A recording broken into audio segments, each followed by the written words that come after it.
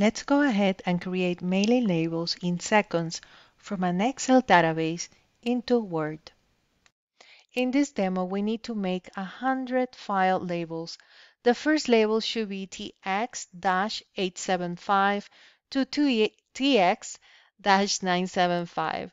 The labels are required to be Avery 5366 for filing.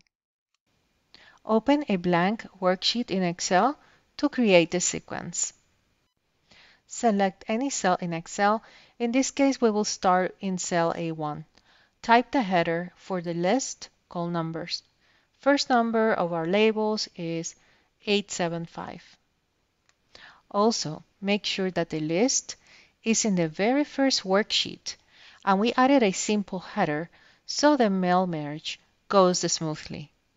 Select the cell A2. Now in the Home tab, go to the Editing group and locate the Fill feature. Now click on the right arrow and select the Series option. On the top, make sure to change the series in columns. The type selected is linear because we need a steady increment or linear increment of 1. The step value indicates how much each number will increase, so we leave the default 1.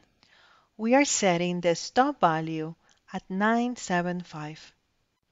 Press OK to finish your changes, and now we have a list of 100 numbers ready. We will show you in Word how easy it is to add the TX and the dash to all of the labels.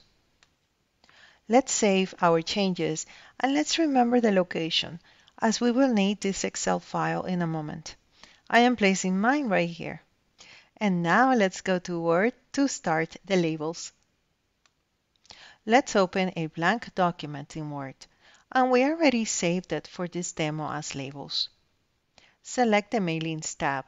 In the second group called Start Mail Merge, select the top drop-down menu. Go to the Step-by-Step -step Mail Merge wizard. The first question on top asked the type of document that we are working on, so we select Labels, or the fourth choice on the list. Select Change the document layout, as we are going to format it with the label sizes for Avery 5366.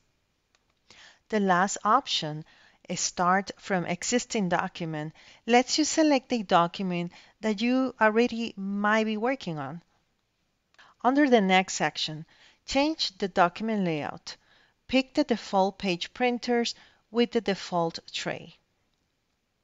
Now, under Label Options, pick Avery US Letter. Then look for the 5366 file for folder labels. Click OK, and now we see all of the blank labels. In this step, we're going to select the recipients by choosing them not from a list, not from the Outlook contacts, nor we will be typing 100 labels by hand. What we are doing instead is using an existing list from a file or database. This is because we are not working with the standard mailing addresses that we see in every other tutorial. Instead, we have very specific codes that we need in our labels. So we're now opening our Excel file and see how it looks under Select Table.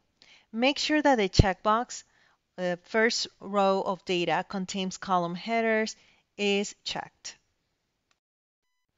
In here, we just want to bring to your attention some great filters available, like sort, filter the data, find duplicates, find recipient, or validate addresses if you need to refine your list even more. Let's click OK and if you like this tutorial, take a moment to like and subscribe for more free videos. Thank you. Now we're going to arrange our labels and the options are address block, which is what you use with standard mailing addresses.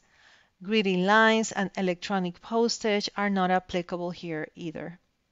Under More Items, make sure that the Database Fields option is selected because we only have one column called numbers. Click Insert and it goes on the very first label as you can see. Now let's preview results and we can add if we need any missing text, like we're doing right now. Always make the change on the very first label, and then you update all labels on the right-hand corner when ready. Now, after we update all labels, we can preview it again. And if you want to change the size or alignment, let me show you real quickly how to do it. Select the first label only and change the font size, alignment, and then click Update All Labels when ready. To print, just go to File, then Print. And for now, we just print it to PDF so you can see the finished result.